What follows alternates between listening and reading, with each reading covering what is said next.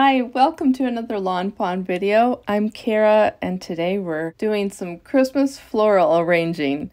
We'll use Shutter Card Holiday Sayings, the Magic Iris Birdhouse add-on, and here are the parts I'll be using from that. And I'm going to be using this wood grain cardstock and then also some chili pepper cardstock and a little bit of paper bag. I also have the stitched poinsettias, large wreath, and spring sprig, and a spring sprig, and that's what I'll be using in chili pepper, raspberry, guava, noble fir, cilantro, rainforest, sage, paper bag, and I cut a little fun foam ring. To start us off, I'm going to heat emboss the sentiment from Shutter Card Holiday Sayings. I want to position it in the opening of the birdhouse, but I want it up a little bit because there will be a bird in front. And that ring from the wreath is just a little bit larger than the opening, so uh, I used it as a guide. Use some clear ink to ink that, that stamp, stamped it down, and now some white embossing powder. Sprinkle that on and I'll heat that up and there it is melted. And I'm going to use that ring again to kind of give me a guide for cutting out this circle. It doesn't have to be perfect because it will be behind the opening. And that ring of fun foam is going to give it a little depth. Now with the sentiment embossed, I can put together the birdhouse and I'm using a little bit of Hippo ink from Lawn Fawn to ink blend on that wood grain just to have it show up a little bit, give it a little shadow. So under the roof line and then also where the ridge on the bottom is going to be. And now I'm going to take some chili pepper ink and Shade the bottoms of the red areas, so the scalloped areas. And also give some depth to that bird and his wing so it shows up a little bit there. I'm shading him with the chili pepper ink, but I'm also going to use a little bit of the hippo ink just to give a little extra shading because he's our main focal point on the card. All right, well, I'll clean that area up with my stamp chamois and then I want to add some snow to the roof line and across the bottom ridge. So I'm using Lawn Fawn's clear ink and I'm going to take it and wipe it against the cardstock right at the top. I'm not looking for a very clean line. I'm trying to get it to be a little bit natural, like falling snow, and Clear ink is a sticky ink, so it's going to hold anything that I sprinkle on there, and I'm sprinkling on textured white embossing powder from Lawn Fawn. When I heat that up with my heat tool, it melts and kind of puffs up a bit, so it really looks like snow on the roof line. I'll take my glue tube and glue that onto the birdhouse.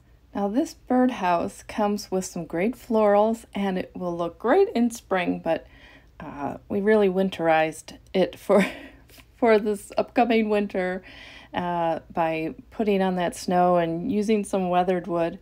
All right, I wanted to get his wing a little bit shaped there and I'm putting just a bit of gray cardstock. This is Storm Cloud card cardstock behind his eye. Just get that so that he has has an eye there. And then I want to make that little perch a little bit raised. So I'm using some fun foam again and putting that down and then gluing on my little perch for him. And he's going to sit right on top of that. So once I get that where it goes, I can figure out how he's going to sit on there and then glue the area that will be on the birdhouse. So he's ready to sing his winter song. his winter song. We have all kinds of winter birds in our yard, so I guess that kind of reminds me of that. Well, here's that uh, bit of craft foam on the back, and that is to put the sentiment behind so that it's the inside of the birdhouse. And so just glue that on and place it where I think it should go. And that's why that bird's on there first, so that I can look at that sentiment through there and, and just place it where I want it. Make sure that's glued down.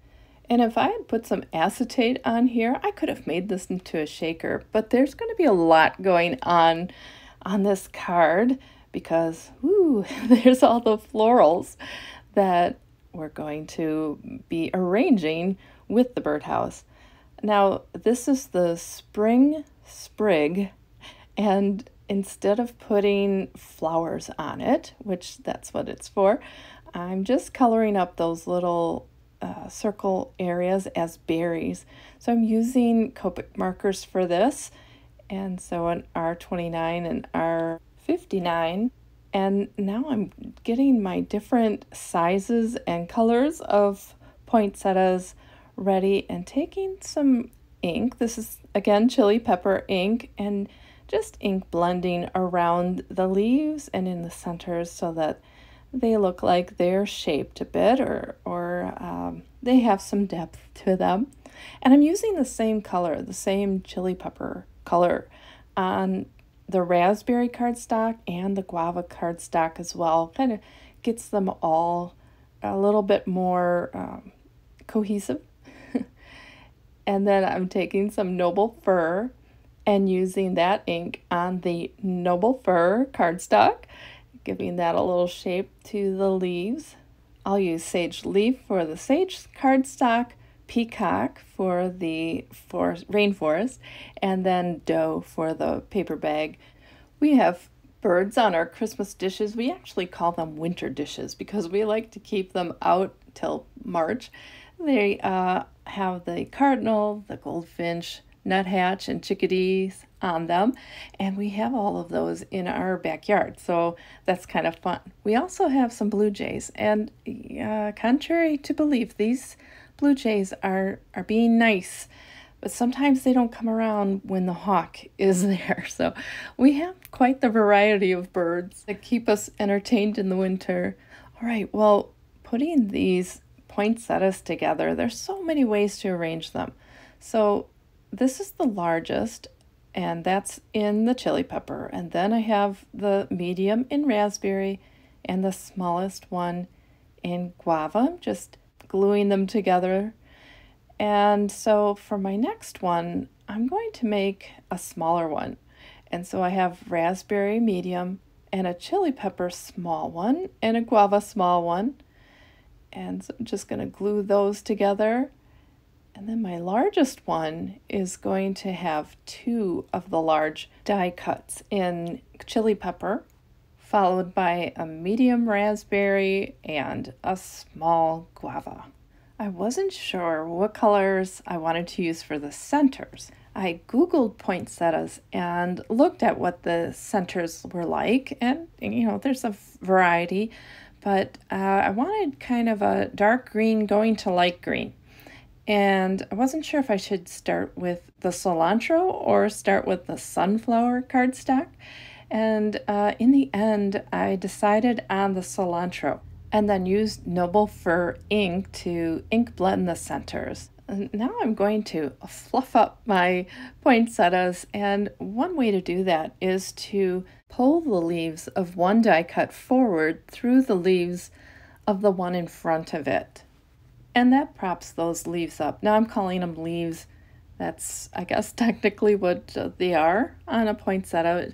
Petals, leaves, whatever. I'm not, I don't need to be too technical there, but you know what I'm saying. So uh, now I'm putting the small and large centers together and I'll glue those in. But first I want to get my other poinsettias fluffed up too.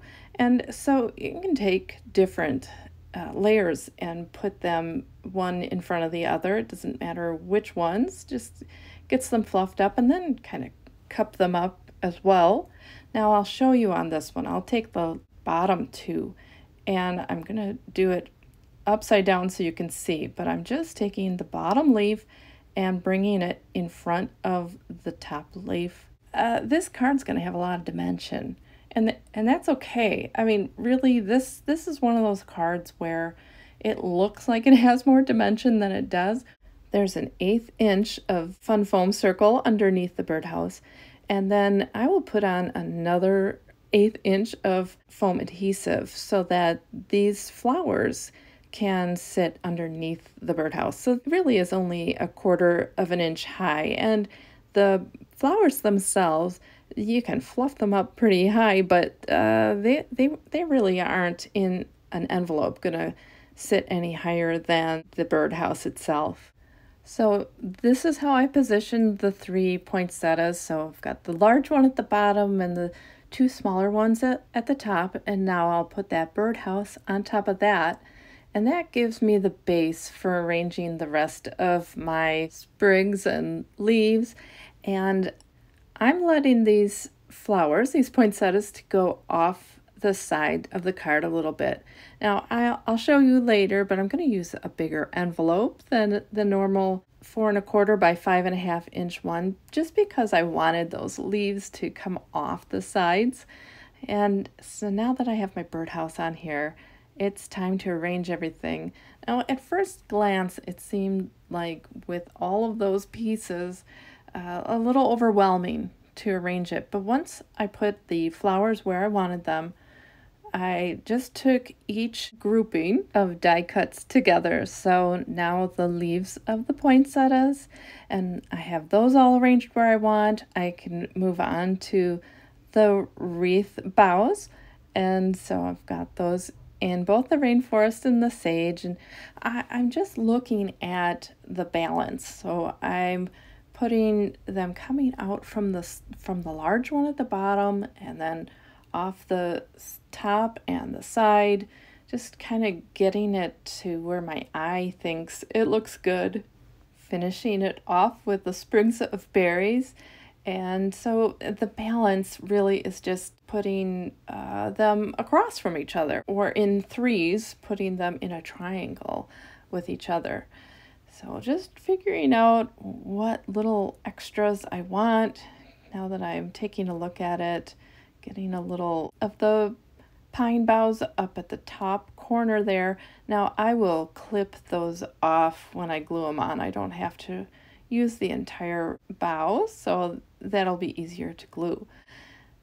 And one more. Just I I think you could just keep going and going or maybe you like it with less. Maybe you thought, ugh, stop there, that's too much. Uh, really, it's just a, a matter of preference there. So I'm taking one section off at a time to glue them back on. Now, this is a point where I would use my camera to take a picture of where I liked everything and then look at that photo while I'm gluing them back on. But I use my camera to do my filming, so I didn't have that luxury, but it was really easy if I just took one little section at a time, glued that where I wanted, make sure it looked good with the rest of the card, and then I can move on to the next section. Here I am pulling things out a little, making sure it's spaced right, and I'm going to do that with the next little grouping. Just start gluing each one, and here's my final little bow put in there. Now I'll attach it to a four and a quarter by five and a half inch note card, just lining it up, and then I'll use my tape runner and add some adhesive to attach it. And I'm going to find a flat section to my card to kind of line that up and, and make sure that it's straight on there. All right, as if there wasn't enough on here, there is this bow that comes with the wreath, the, the large wreath die set. I'm going to use my fingers to just coax it into a curve. And I'm using that rainforest cardstock. Put a little bit of glue in the center. And I could sit here with my fingers for a while, but decided, hmm, I'll use my tweezers instead. So got those tweezers out and putting that in there. I let this sit for a few minutes and then came back. And that little stem, it's the center of the bow. I'm wrapping that around the middle and then I'm going to take some glue and put that in the center and take those tweezers again to help me get that to sit so that I'm not sitting with it. I, really, the glue takes less than a minute, but but you know, we get a little impatient. So I'm letting it sit, came back, and now this bow comes with two different types of ribbon ends. And this is the one that looks, that's going downward. It also has one that goes side to side. So I'm just gluing that on the top of my birdhouse and gluing on the bow. And there it is. This card is all done. And I decided I should show you that, yes, indeed, I'm actually going to put it in a larger envelope and it will mail out just fine. I might just hand deliver this one at Christmas time. Well, I hope you enjoyed the video today and it inspired you to do a little floral arranging on a card for yourself. Thanks for watching and have a great day. Bye.